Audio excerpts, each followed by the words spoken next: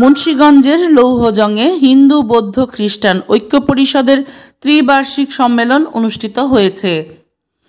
শনিবার মুন্সীগঞ্জের লৌহজং সরকারি কলেজে বাংলাদেশ হিন্দু বৌদ্ধ খ্রিস্টান ঐক্য পরিষদ, যুব ঐক্য পরিষদ, ছাত্র ঐক্য পরিষদের ত্রিবার্ষিক সম্মেলন দুই হাজার তেইশ প্রবীণ সাংবাদিক ঐক্য পরিষদের উপজেলা শাখার আহ্বায়ক অলোক কুমার মিত্রের সঞ্চালনায় কাউন্সিলর ও ডেলিগেটদের উপস্থিতিতে সমাজসেবক শিক্ষানুরাগী সুধাংশু কুমার দাসের সভাপতিত্বে অনুষ্ঠিত হয়। সভায় প্রধান অতিথি হিসেবে উপস্থিত ছিলেন মুন্সীগঞ্জ দুই আসনের সংসদ সদস্য সাবেক হুইপ অধ্যাপক সাগুপ্তা ইয়াসমিন এমিলি। প্রধান বক্তা হিসেবে উপস্থিত ছিলেন ঐক্য পরিষদের কেন্দ্রীয় কমিটির সাধারণ সম্পাদক, যুদ্ধাপরাধী মামলার প্রসিকিউটর অ্যাডভোকেট রানা দাশগুপ্ত। জেলা ঐক্য পরিষদের সভাপতি, জেলা আইনজীবী সমিতির সভাপতি অ্যাডভোকেট অজয় চক্রবর্তী সম্মেলন উদ্বোধন করেন। জাতীয় সংগীত ও উদ্বোধনী সঙ্গীতের মাধ্যমে অনুষ্ঠানের সূচনা করা হয়।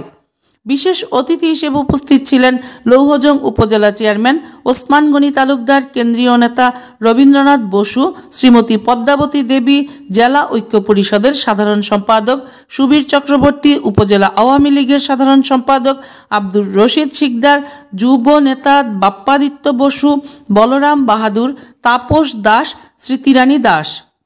বক্তারা বঙ্গবন্ধুর বাহাত্তর সালের সংবিধান ও বৈষম্যমূলক আইনসমূহ বাতিলের দাবি জানান। স্বাগত বক্তব্য দেন অধ্যাপক ডাক্তার গোবিন্দচন্দ্র দাস। সম্মেলনে শোক প্রস্তাব পাঠ করেন যুব ঐক্য পরিষদের সদস্য সচিব শিমুল কুমার দে। ঘোষণাপত্র পাঠ করেন ঐক্য পরিষদের উপজেলা শাখার সদস্য সচিব অ্যাডভোকেট সঞ্জীব কুমার মণ্ডল।